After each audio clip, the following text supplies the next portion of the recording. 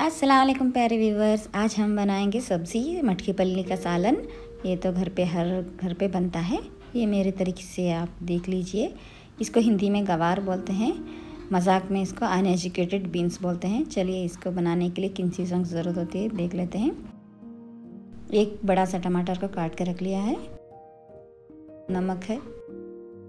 एक मीडियम प्याज को काट के रख लिया है, बारीक से।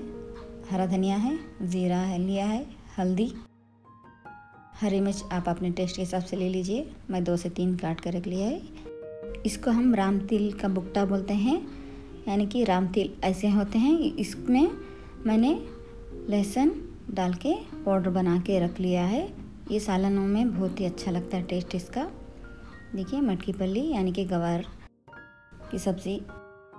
इसको छोटे टुकड़े में काट के रख लिया है। चलिए इसको बनाएँगे। कुकर में दो से तीन टेबल स्पून जितना ऑयल डालेंगे। इसमें वन टीस्पून जितना ज़ीरा डाल के इसके थोड़ा तड़कने के लिए छोड़ेंगे। कटी हुई प्याज को डाल के।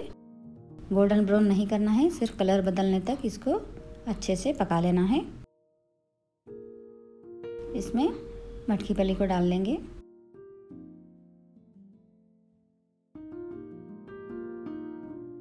हाफ़ टी स्पून जितना हल्दी डाल लेंगे। वन टीस्पून भर के नमक डालेंगे और ये आधा किलो गवार है। इसको अच्छे से मिक्स कर लेंगे। और कटे हुए हरी मिर्च, कटे हुए टमाटर, इसको भी डाल के मिक्स कर लेंगे। थोड़ा सा पकने के लिए थोड़ा ही, ज़्यादा नहीं। तीन टेबल्स जितना पानी डाल के इसको कुकर लेड लगा देंगे। दो विजिल के बाद ऑफ़ कर देंगे। देखिए, हमारे गवार की सब्ज़ी बनके तैयार है।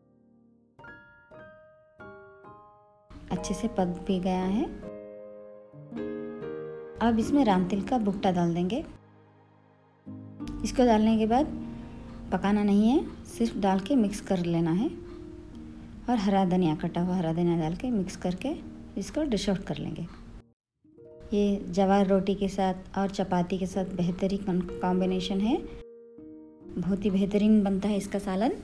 आप ज़रूर ट्राई करें राम तिल के साथ। वीडियो अच्छा लगा है तो लाइक शेयर सब्सक्राइब ज़रूर कीजिए। अल्लाह हाफिज़।